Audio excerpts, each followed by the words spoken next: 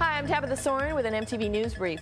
Elastica bassist Annie Holland suddenly left the band before last Wednesday's Lollapalooza tour date in Austin, Texas, citing tendonitis in both of her wrists. An Elastica spokesperson, however, says the band thinks Holland is just tired of touring and that while they'll all discuss the situation after Lollapalooza ends this weekend in California, Elastica expects to begin looking for a new bassist.